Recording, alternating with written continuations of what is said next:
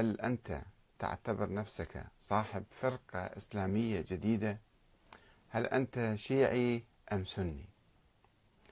هذا السؤال يتردد آه، كثيرا وأجبت عليه عدة مرات ولكن آه، الأسئلة تتكرر مرة بعد أخرى لذلك أحب أن أوضح هذا الموضوع جيدا اولا حتى نعرف الفرق الإسلامية كيف تكونت حتى نقول أن هذا صاحب فرقة أو ليس بصاحب فرقة. الفرق الإسلامية بصورة رئيسية آه، تكونت أو تفرعت حول السياسة آه، حول أنظمة الحكم نظرا لخلافات آه، العوائل القرشية من أموية إلى هاشمية إلى علوية إلى فاطمية إلى حسنية وحسينية وهكذا. كلهم كانوا يدورون في الدائرة القرشية الهاشمية والعلوية ويتفرعون يوما بعد آخر. وهناك فرقة أخرى خرجت على هؤلاء جميعا وهي الفرقة الإباضية. اللي هم أساسا ولدوا من الخوارج. الخوارج الذين كانوا ينتمون إلى شرق الجزيرة العربية. يعني بني عبد القيس وتميم وبني حنيفة والأزد من عمان. هؤلاء شرق الجزيرة العربية لم يقروا لقريش بسيطرتها على الأمة الإسلامية وعلى الدولة الإسلامية فلم يشترطوا أو لم يقبلوا هذا الشرط أن يكون الخليفة قرشيا هذه فرقة صارت فرقة خارجية الخوارج بمختلف صنوفهم وأيضا الإباضية اللي يعني بعدين آه، هدأوا وتخلوا عن العنف وأصبحوا فرقة آه، فقهية فقهية لا تمتاز عن بقية المسلمين لأن الخلاف بين جميع المسلمين لم يكن حول الإسلام. الإسلام واحد لدى جميع الفرق الإسلامية الاعتقاد بالله تعالى والإيمان بالنبي والإيمان بالآخرة وأيضا الصلاة والصوم والحاج والزكاة هذه كلها أمور متفقين عليها جميعا. فلم يكن هناك خلاف بين المسلمين حول الإسلام الموجود بالقرآن الكريم. إنما الخلاف نشأ سياسيا وحول السياسة.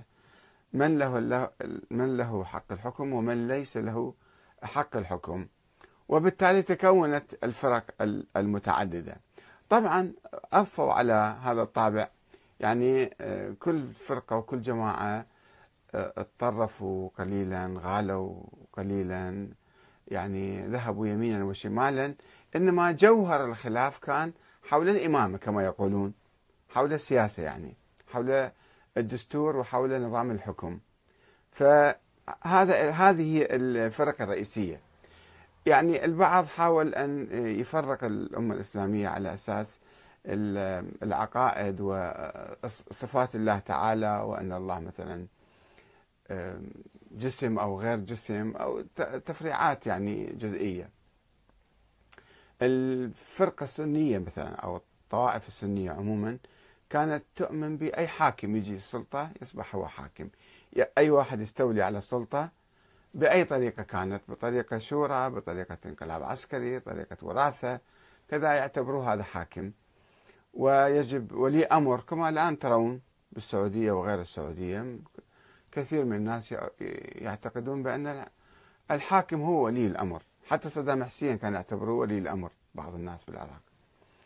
بينما الشيعة مثلا قالوا لا أن الخلافة من أهل البيت والخلافة للعترة ولهذا الفريق أو لذلك الفريق. انقسموا أيضا زيدية وجعفرية واثنى عشرية وإسماعيلية وما إلى ذلك.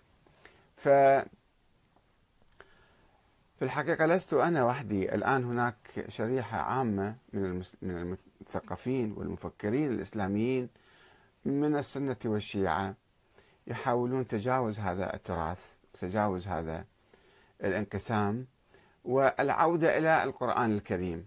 العودة إلى القرآن يعني القرآن وطبعا السنة النبوية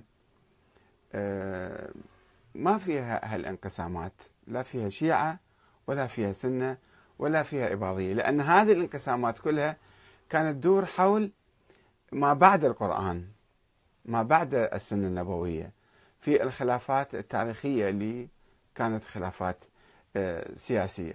آه، بالطبع كل جماعة وكل فريق يمكن أيضا سووا لهم بعض الأحاديث ما عدا الأباضية اللي ما عندهم حديث بعدم مثلا آه، كرشية الحاكم. هم رفضوا أن هذا حديث ضعيف ومفتعل وما نقبل به. ولكن الشيعة اللي الإمامية خصوصا صنعوا لهم أحاديث حول إمامة أهل البيت والنص عليه من الله وأنهم معصومون وأنهم لديهم علم غيبي أو كذا. هذا كله كلام آه، هم أهل البيت ما كانوا يعرفوه وكانوا ينفوه ولكنهم ينسبون هذا الكلام إليهم سرا وفي الباطن. السنة كذلك اللي عندهم تأويلات للقرآن وعندهم أحاديث موضوعة ومكذوبة بضرورة طاعة أي حاكم كان والخضوع له. الآن في نهضة إسلامية مشتركة عامة تحاول آه، تجاوز هذا التراث الطائفي وتعود آه، إلى القرآن الكريم والسنة النبوية. طبعا اللي تشرح القرآن السنة الصحيحة وليست الأحاديث المزيفة والموضوعة والمصنوعة وأيضا إلى العقل. العقل اللي هو ينظم حياتنا. يعني آه، الأنظمة الديمقراطية مثلا أو الشورى آه، هذه أنظمة ما موجودة في القرآن ما منصوص عليها بالقرآن لأن الإسلام لم ينص على نظام سياسي معين. فالعاقل يقول أنه آه، الحكم إذا إحنا يعني آمنا بمبدأ القوة وأي واحد يسيطر على السلطة يصبح هو حاكم شرعي هذا حيولدنا يولد لنا سلسلة من الانقلابات التي لا تنتهي انقلابات العسكرية. وأي جماعة تمتلك القوة أكثر تقوم بمؤامرة وتقوم بانقلاب وتقوم. هذا مسلسل اللي دمرنا ودمر العالم الإسلامي. آه، إذا فالطريق الأفضل هو أن نعود إلى الشعب. والشعب هو الذي يمنح السلطة لمن يريد.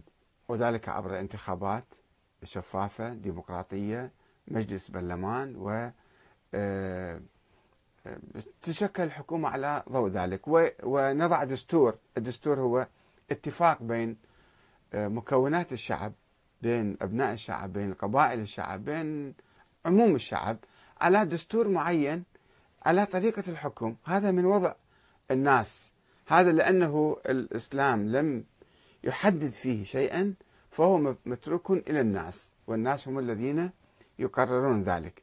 فإذا أنا